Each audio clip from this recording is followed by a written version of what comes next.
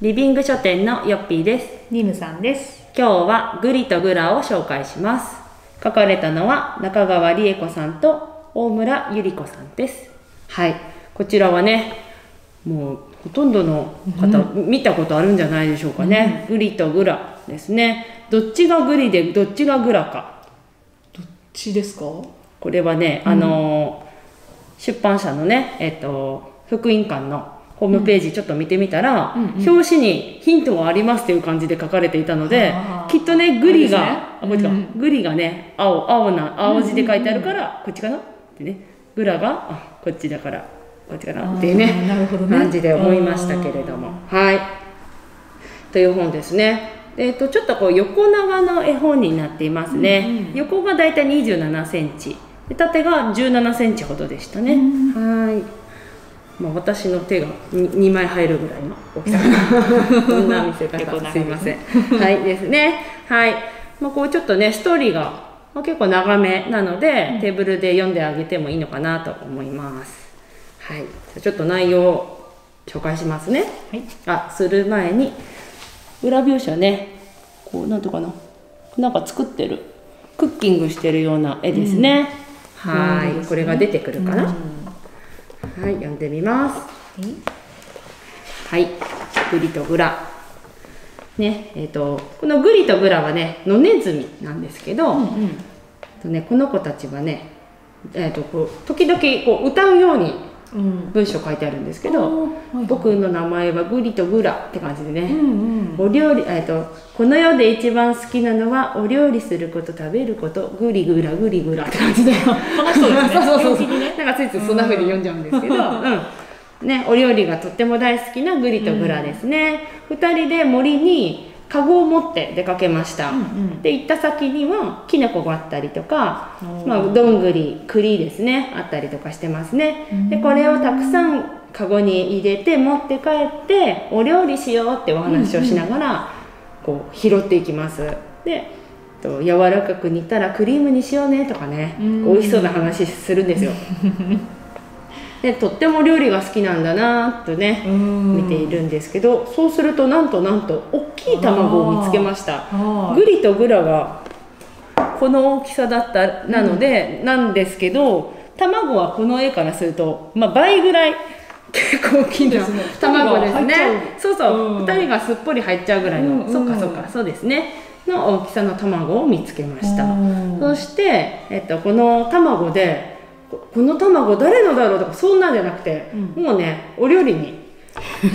何作ろうかなみたいなもらっちゃう気で。そうそうそうそう、うん、これででも大きい目玉焼き作ろうかなとかね。うん。あの僕たちのベッドより厚みのある厚焼き卵を作ろうかなとかそういう話するんですけど。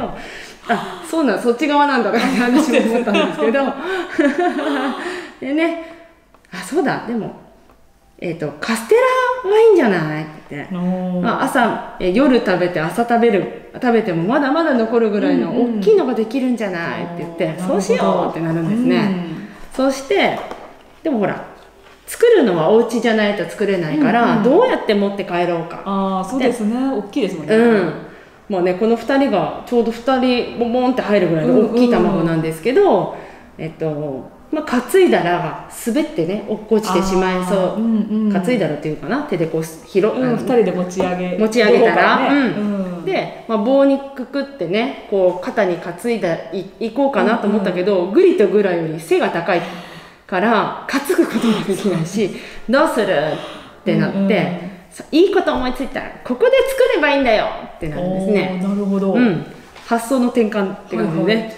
はいはいそうしてじゃあそうしようって言って、まあ、卵は置いて家に帰った2人がその道具とかをね、うんうん持ってその場所にまた戻るんですけど、うん。もう大きいリュックサックの中にまあ、ね、材料こう入れてって、うんうん。そしたらもう焼くじゃあお鍋どうする？ってお鍋はちょっとリュックに入らないよ、そうですね、うん。でっかいね卵や、卵でカステラができそうなんですけど、うん。うん。なのでこれはもう仕方ない。引っ張ろう。っやっぱまあここでもちょっと発想をね。ううんうん。変えてうん。いいアイデアが見つかってしかも、まあ、引っ張ってるそのお鍋の中にまた荷物も入れれるし、引っあー張ってて蓋の部分をね長い木でこうなんか転がしながら行くっていう。感じですね。すねそうそうそう鍋頭がいいなってね思いますね。さあそのね卵の場所に着きました。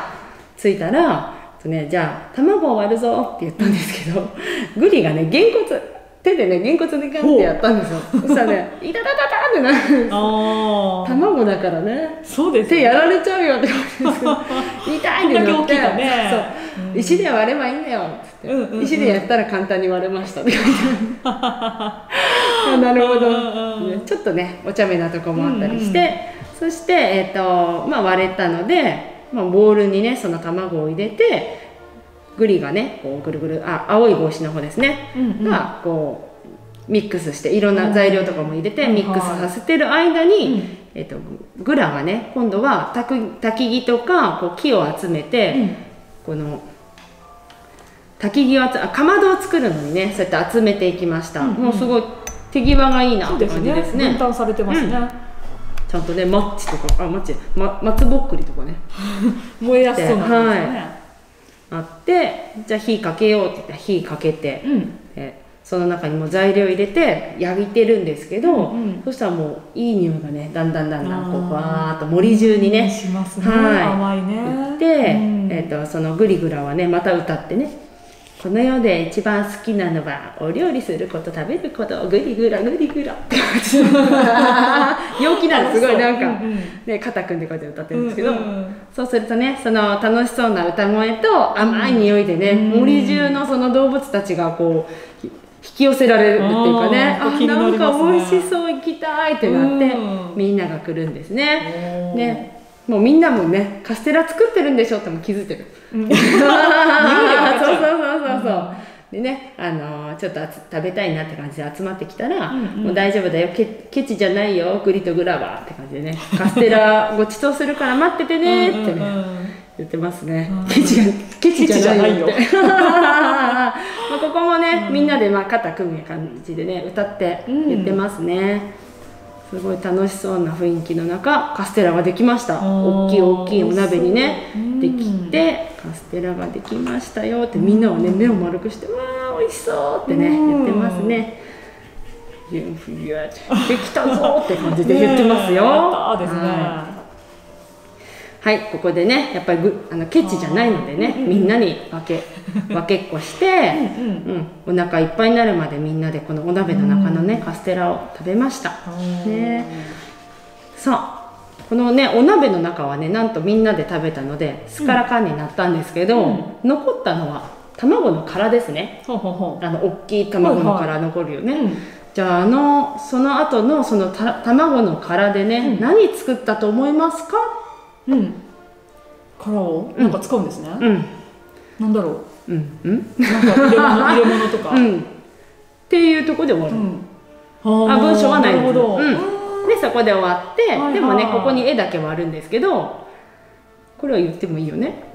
う んですね。うん。えっ、とその卵の殻にうん。タイヤをつけてで,、えーでグリとグラが乗れるようなこう、まあ、うんオープンカーみたいな感じですね、あー。えっと2つ割ったので2つあるのでこうくっつけた感じでオープンカー状態でこううーんってね、うんうん。2人が乗ってどっか行きましたね、また冒険かな、なんか旅が始まるのかなとかね、うんうん。違うとこ行ってなんか違う材料と探しに行くのかなとかね、うん。いろんな想像できますよね。できますうん、ねでここに咲いてるこの赤い花うん。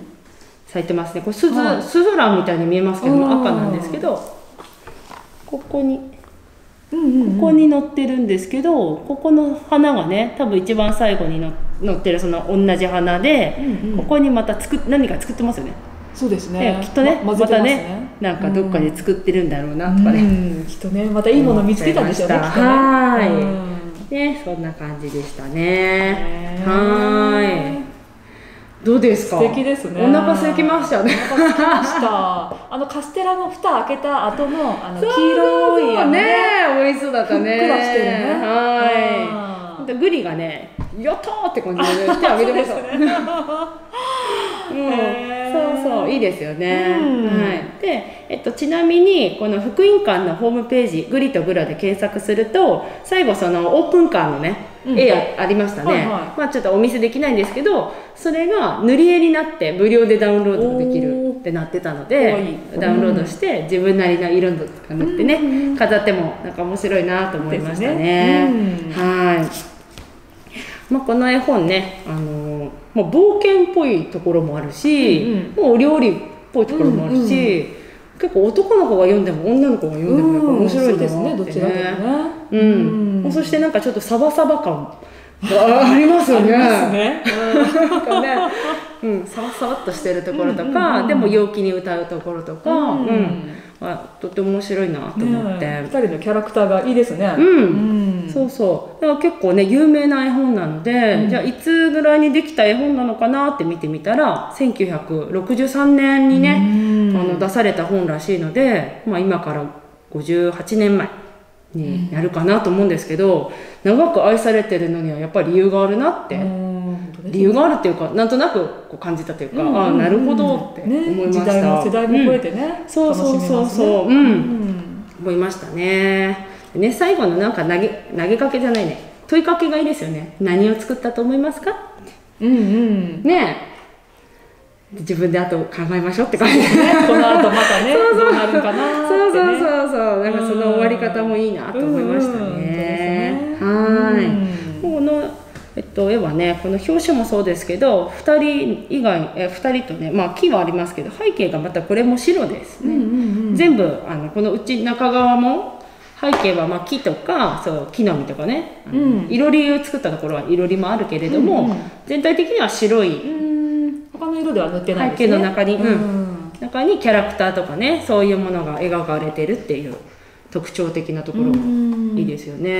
うん。はいそうなんです。ううん。ん、まあ、よく見るとねいろり作ってるところとかもねちゃんと考えられてて。うんうん。ね、あの着火剤って森の着火剤って言われるその松ぼ, 松ぼっくりもねそうです転がってるしうんちゃんとね集めて。うんうん。バターもやっぱり昔もこんなのに包まれてたんだなっていうそうね。あ紙のねうん。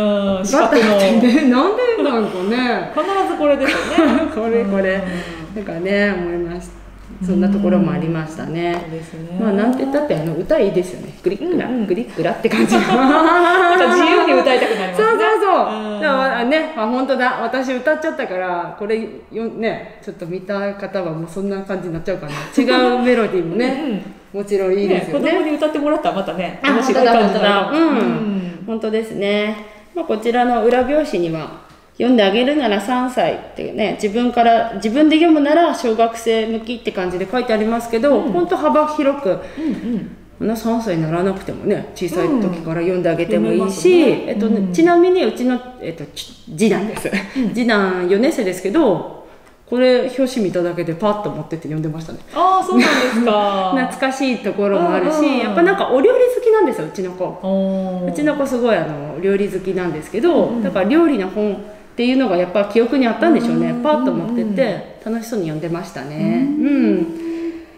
うん。長く楽しめますねそしたらね。長く楽しめるね、うん。はい。もうこれはちょっとカバーがねないもともとないんですけど、まあ、その分やっぱりこうどっか行く心配とかもないし、うん。うん。なんかうちにも長くありますね、ううんん置いてあるんですけど。はい。おすすめです、はいすいません。はい。ではね今日はグリとグラを紹介しました。